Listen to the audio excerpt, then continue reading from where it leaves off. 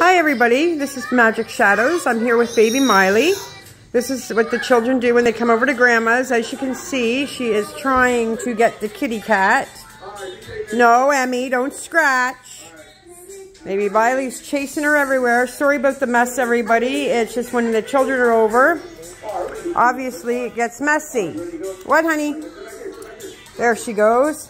She's going to watch her favorite show, or one of them. Little Monkeys on YouTube. She has her little bag of chips. She's so sweet and cute. Sorry, uh, this video is a little bit. It won't be that long, obviously, because she's now going to lie down and watch her show. But yeah, this is what they do. They play. We do crafts when they're here.